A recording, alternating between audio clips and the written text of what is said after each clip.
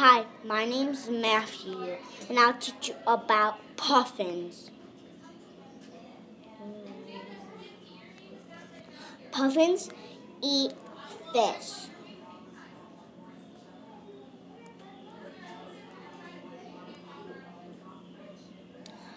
Puffins live in barrels.